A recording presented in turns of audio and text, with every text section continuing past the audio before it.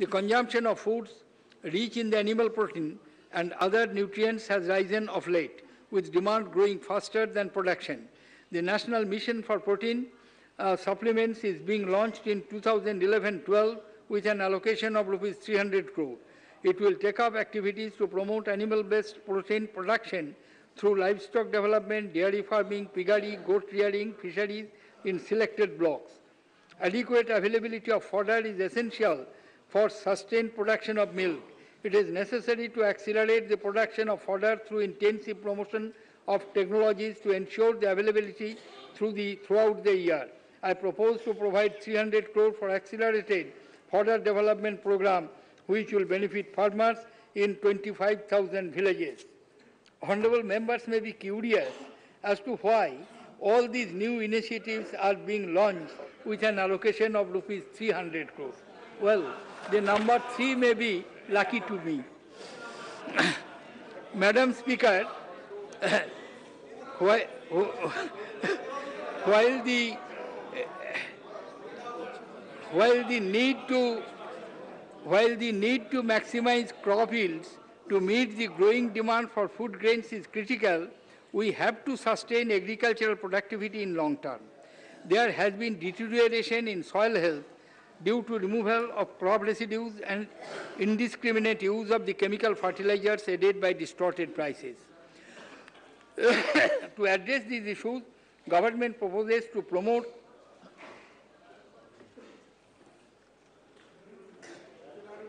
organic farming methods combining modern technology with traditional farming practices like green manuring, biological pest control and weed management. To get the best from their land, farmers need access to affordable credit. Banks have been consistently meeting the targets set for the agricultural credit flow in the past few years. For the year 2011-12, I am raising the target of the credit flow to the farmers from 3 lakh 75,000 crores to 4 lakh 75,000 crores. Banks have been asked to step up direct lending for the agriculture and credit to small and marginal farmers. The, the existing the existing interest subvention, there is more the existing interest subvention scheme of providing short-term crop loan to farmers at 7% interest will be continued during 2011-12. In the last budget, I had provided an additional 2% interest subvention to those farmers who repay their crop loan on time. The response to this scheme has been very good. In order to provide further incentive to these farmers, I propose to enhance the additional subvention to 3% in 2011-12. Thus, the effective rate of interest for such farmers would be 4%. in view of the enhanced target for the flow of agricultural credit, I propose to strengthen NABARD capital base by infusing rupees 3,000 crore in a phased manner as government equity. This would raise its paid-up capital to 5,000 crore. To enable NABARD to refinance the short-term crop loans of the cooperative credit institutions and RRBs at concessional rates, I propose a contribution of 10,000 crore to NABARD's short-term rural credit fund for 2011-12 from the shortfall in the priority sector lending by scheduled commercial banks. Despite growing production of vegetables and fruits, their availability is inadequate due to bottlenecks and in retailing capacity. An estimated 40% of the fruit and vegetable production in India goes west due to lack of storage, cold chain, and transport infrastructure. To address these issues, 11th plan target for the number of mega food parks was set at 30. So far, 15 such parks have been sanctioned. During 2011-12, approval is being given to set up 15 more mega food parks. The year 2008 to 2010 saw very high levels of food grain procurement. On January 1, 2011, the food grain stock in the central pool reached 470 lakh metric tons, 2.7 times higher than 174 lakh metric tons on January 1, 2007. The storage capacity for such large quantities requires augmentation. Process to create new storage capacity of 150 lakh metric tons through private entrepreneurs and warehousing corporations has been fast-tracked. Decision to create 20 lakh metric tons of storage capacity under public entrepreneur guarantee scheme through the modern silos has been taken. While we will be able to add about 2.6 lakh tons of capacity by March this year, based on existing sanctions, the additional will reach 40 lakh tons by March 2012. During 2010-11, another 25 lakh metric tons of storage capacity has been created under the Rural Godown Scheme. Investment in the cold storage project is now gaining momentum. During this year, 24 cold storage projects with a capacity of 1.4 lakh metric tons have been sanctioned under National Horticulture Mission. In addition, 107 cold storage projects with a capacity of over 5, 5 lakh metric tons have been approved by the National Horticulture Board. To attract investment in this sector, henceforth capital investment in creation of the modern storage capacity will be eligible for viability gap funding scheme of the finance ministry. It was not earlier. It is also proposed to recognize cold chains and post-harvest storage as an infrastructure subsector. The recent episode of inflation in vegetable and fruits has exposed serious flaws in our supply chains.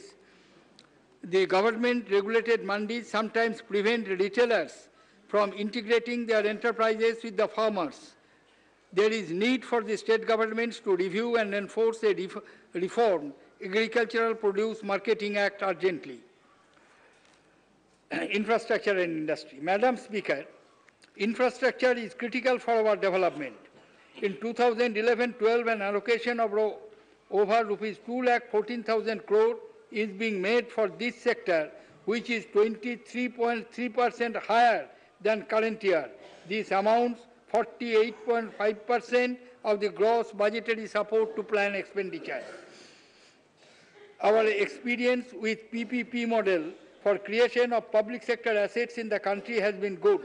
We have recently launched the National Capacity Building Program to enhance the capacities of the public functionaries in identifying, conceptualizing, structuring, and managing PPPs. It is our endeavor to come up with a comprehensive policy that can be used by central and the state governments in further developing public-private partnership.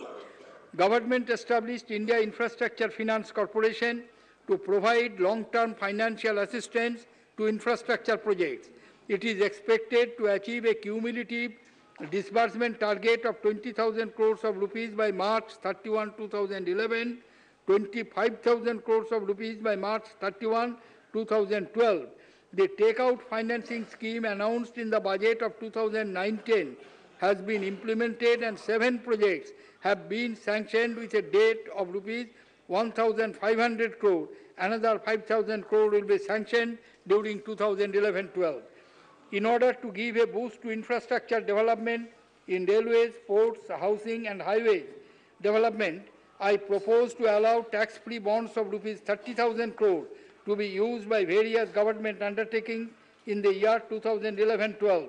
This includes Indian Railway Finance Corporation, 10,000 crore, National Highway Authority of India, 10,000 crores, HUDCO, rupees 5,000 crores, and ports, rupees 5,000 crores. To attract foreign funds for the infrastructure financing, I propose to create special vehicle in the form of notified infrastructure debt funds. I will come to the details in part B of my speech. For sustained growth of GDP and productive employment for younger generation, it is imperative that the growth in manufacturing sector picks up. We expect to take the share of manufacturing in GDP from about 16% to 25% over a period of next 10 years. Government will come out with a manufacturing policy which will bring down the compliance burden on the industry through self-regulation and help make Indian industry globally competitive. to address the need for the greater transparency and accountability in procurement policy and allocation, pricing and utilization of the natural resources, the government has set up two committees. The recommendations will be available within three months.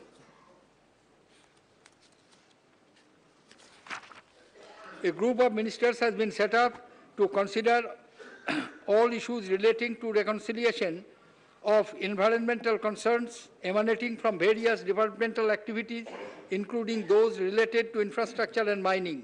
This group will also suggest changes in the existing statute, rules, regulations, and guidelines, and make, the, make its recommendations in a time-bound manner. The Indian automobile market is the second fastest growing in the world and has soared nearly 30% growth this year. World over, substantial investments are being made in the field of hybrid and electric mobility to provide green and clean transportation for the masses. National Mission for Hybrid and Electric Vehicles will be launched in collaboration with all stakeholders. the funding of 15,260 modern low-floor and semi-low-floor buses under JNNURM, besides adding to passengers' comfort, has transformed the urban transport across India. In 2011-12, Delhi Metro Phase 3, Mumbai Metro Line 2, 3 are proposed to be taken up. Ongoing metro projects of uh, Bengaluru, Kolkata and Chennai will be provided financial assistance to speed implementation. Investment in fertilizer sector is capital intensive and is considered high risk. It is proposed to include, include capital investment in fertilizer production as an infrastructure subsector. Madam Speaker, the task force on transaction cost set up by the Department of Commerce to identify and suggest ways to achieve the improvement in efficiency of our export process has completed its task. 21 suggestions made by the task force have already been implemented. Action on remaining two will be taken in the next few months. This will mitigate transactions cost by about rupees 2,100 crore. To quicken the clearance of the cargo by customs authorities and further modernize the customs administration, I propose to introduce self-assessment in customs under these import under these, importers and exporters will themselves assess their duty liabilities while filing their declarations in the EDI system. The department will verify such assessments on a selective, system-driven basis. there have been considerable difficulties in the sanction of refunds relating to the tax paid on services used for the export of goods. I propose to shortly introduce a scheme for the refund of these taxes on the lines of drawback of duties in a far more simplified and expeditious manner. A new scheme is also being introduced by which units in SEZs will be able to obtain the tax-free receipts of services wholly consumed within the zone and get their refunds in a much easier manner. Mega clusters have em employment and export potential. I propose to extend the mega cluster scheme for development of leather products. Seven mega leather uh, clusters would be set up during the year 2011-12.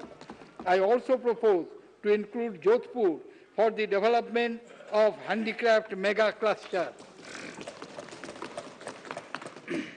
Madam Speaker, the generation and circulation of black money is an area of serious concern. To deal with the problem effectively, government has put into operation a five-fold strategy which consists of joining the global crusade against black money, creating an appropriate legislative framework, setting up of institutions for dealing with illicit funds, developing systems for implementation and implanting, imparting skills to the manpower for effective action. We secured membership of the Financial Action Task Force in June last year. This is an important initiative of G20 for anti-money laundering. We have also joined the Task Force on Financial Integrity and Economic Development, Eurasian Group, and Global Forum on Transparency and Exchange of Information for Tax Purposes. During the year, we have concluded discussions for 11 tax information exchange agreements, 13 new double taxation avoidance agreements, along with revision of the provisions of 10 existing double taxation avoidance agreements to effectively handle the increase in tax information and exchange and transfer pricing issues. Foreign tax divisions of the CBDT has been strengthened. A dedicated cell for exchange of information is being set up to work on this agenda. The amendment of our money laundering legislation in 2009 has significantly increased its scope and application. The number of cases registered under this law has increased from 50 between 2005 to 2008 to over 1200 by January this year.